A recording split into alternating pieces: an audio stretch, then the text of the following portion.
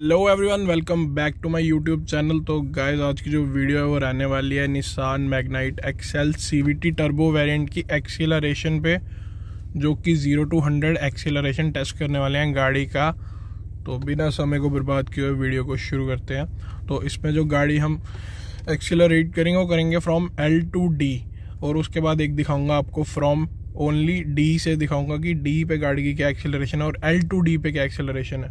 तो गाड़ी अभी ड्राइव मोड पे है, जैसे आप देख सकते हैं डी लिखा हुआ है ऑडोमीटर पे। और यहाँ पे अभी डी में डल रखी है गाड़ी। अब मैं एल पे कर दूँगा। तो यहाँ पे एल शो हो गया। अब मैं गाड़ी को from L to D accelerate करने वाला हूँ। तो गाइस चलिए वीडियो को शुरू करते हैं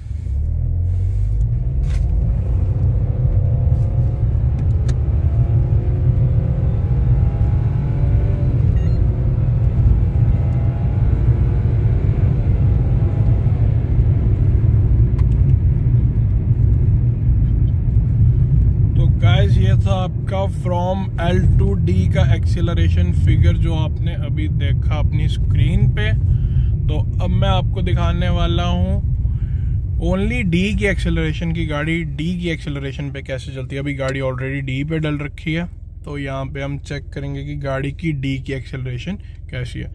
तो one two and go